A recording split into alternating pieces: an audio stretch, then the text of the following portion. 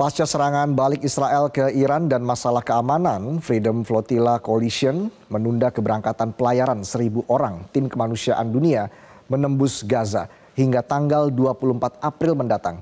Untuk mengetahuinya kita bergabung dengan rekan Desi Fitriani dari Istanbul, Turki.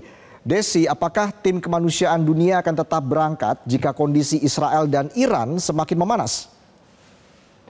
Ya, memang Reza sampai sejauh ini uh, rencananya akan berangkat besok tanggal eh, uh, 21 April pada hari Minggu. Tetapi karena uh, kondisi keamanan setelah serangan balik dari Israel ke Iran dan juga uh, belum adanya izin dari pemerintah Turki karena memang sampai sejauh ini dapat kami dapat informasi bahwa pemerintah Turki meminta untuk uh, tidak berangkat.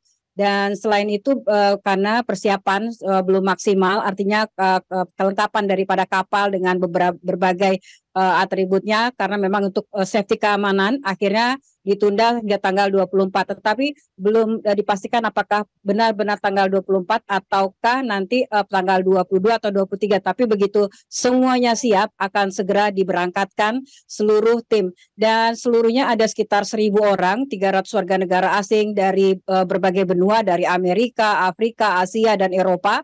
Dan uh, dari bahkan dari Indonesia sendiri juga ada dan dari Amerika, Jerman, Berlin, uh, kemudian eh, dari Jerman, kemudian juga dari Maroko, bahkan dari Syria, Mesir, Kanada dan juga Italia. Dan mereka semuanya siap berangkat dan ketika diumumkan kemarin bahwa pemberangkatan ditunda sampai tanggal 24 uh, akhirnya semua mengatakan bahwa tetap semangat bahkan selama dua hari terakhir tetap mengadakan pelatihan pengamanan ketika ada sesuatu di kapal ataupun apabila di, di kawasan Laut Mediterania seperti kejadian pada tahun 2010 lalu kapal Maifi Marmara dicegat oleh pasukan Israel di kawasan Laut Mediterania dengan uh, beberapa kapal dan butnya dan akhirnya ada 10 orang meninggal pada saat itu dan uh, banyak lainnya luka-luka. Bahkan semua orang kemudian ditahan uh, baru dilepaskan sekitar 3 sampai ada yang bahkan ditahan sampai 10 tahun.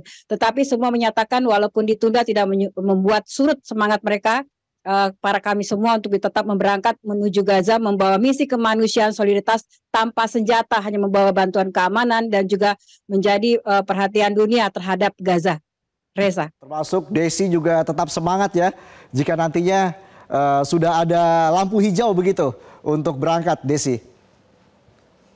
Ya, memang Reza uh, sampai sejauh ini kita tetap uh, pada uh, niat kita semua karena ada enam warga negara Indonesia dari uh, NGO, dari AXO uh, World Group, Working Group, dan juga dari uh, Maimuna Center, dan juga dari Golden Future Indonesia semuanya memang masih muda-muda dan satu wartawan dari Metro TV akan ikut serta dalam uh, pelayaran ini. Dan kami juga mendapatkan informasi tadi siang bahwa uh, saat ini sudah berjaga-jaga sekitar 30 kapal di perairan Mediterania untuk menghambat uh, laju daripada pelayaran daripada tiga kapal, kapal Anadolu dengan sekitar sekitar uh, 800 sampai 1000 orang kapasitasnya dan juga ada kapal uh, kapal Agdenis dengan sekitar 800 sampai 1000 dan Anadolu dengan 200 orang dan bawa satu kapal kargo dengan 5.500 bantuan sebagian besar adalah makanan dan juga obat-obatan. Resa.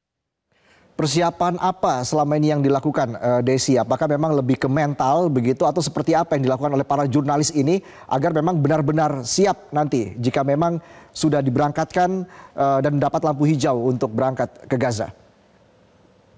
Ya, memang uh, setiap malam kami melakukan uh, briefing untuk uh, semua perwakilan. Bahkan kemarin sam, uh, ada sekitar 100 orang ikut briefing karena memang ada 300 warga negara asing. Uh, khususnya briefing diberikan kepada warga negara asing.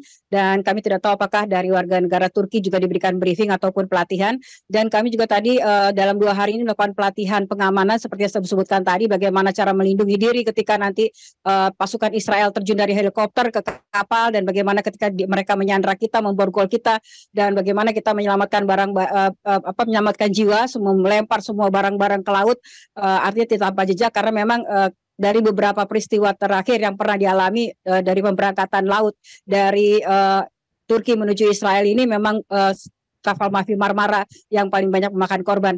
Dan kesiapan lainnya bahwa bantuan-bantuan makanan dan juga 5, sekitar 5.500 ton bantuan kemanusiaan dari seluruh dunia yang difokuskan kepada Turki itu sudah loading di kapal Vindan dan sudah siap untuk uh, berangkat uh, masih dalam proses. Sementara kapal yang membangkut penumpang baik kapal Akdenis juga kapal Anadolu sudah siap semuanya.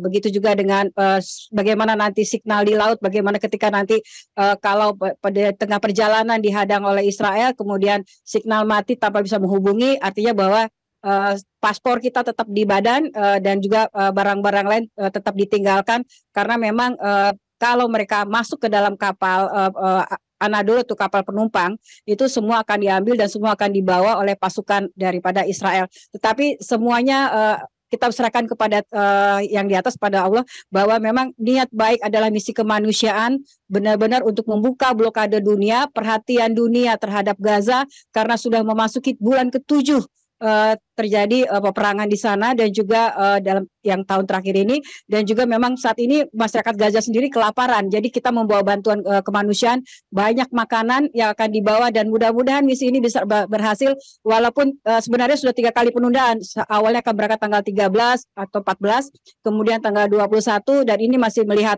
dan kami juga mendapatkan informasi apabila uh, besok pada hari Minggu seluruh masyarakat atau yang mereka yang uh, ikut dalam aksi misi ini akan melakukan aksi demo. Aksi demo damai meminta kepada pemerintah Turki agar tetap memberikan eh, izin untuk bisa berlayar karena memang apa pun yang akan terjadi di laut tadi nanti adalah memang itulah yang dikendaki. Tetapi memang eh, kita menginginkan semuanya berjalan dengan baik. Apa pun resikonya kita juga sudah dilatih bahwa mentalnya ditanyakan kesiapan. Bahkan tadi malam apakah dengan adanya penundaan apakah dengan adanya serangan balik dari Israel ada yang mundur tetapi ternyata bertambah anggota yang akan datang jadi ada lagi satu negara, jadi semua total 38 negara yang akan ikut dan peserta terbanyak adalah Turki 300 di antaranya adalah uh, warga negara asing dengan total keseluruhan sekitar 1000 atau 1100 orang. Reza. Baik, terima kasih Desi Fitriani atas laporan Anda dan tentunya kita doakan yang terbaik untuk Desi agar selalu diberikan keselamatan jika nanti harus menembus ke Gaza dan juga nanti akan kembali lagi ke Indonesia. Terima kasih Desi, jaga kesehatan selalu. Jelajahi cara baru mendapatkan informasi. Download Metro TV Extend sekarang.